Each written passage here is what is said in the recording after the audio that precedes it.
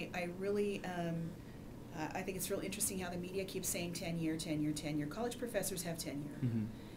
Public school educators have continuing contract, which is due process rights. Right.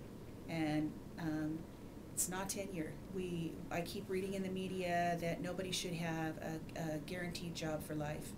Teachers do not have a guaranteed job for life. Mhm. As a matter of fact, when I was in the Caldwell School District and I was the president of the association, I worked with a couple of educators that they knew it, that they were struggling, and that they that their employment should be someplace else. And they, with the help of the association, left the profession.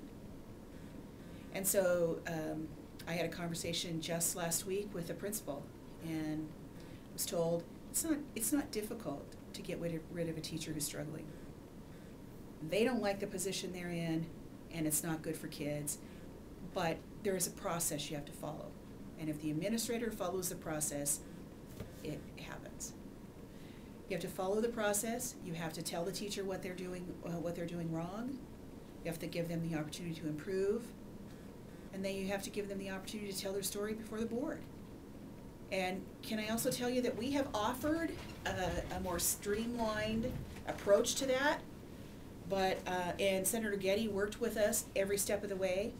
And in the final moments of that, the school, uh, school board association decided that they weren't going to support it, and it was pulled back. Mm. And so it's interesting that the IEA gets blamed all the time for um, not wanting to do what's best for kids or protecting our own or the status quo or whatever term you want to use. Mhm. But we've offered things up that aren't accepted. So, Right.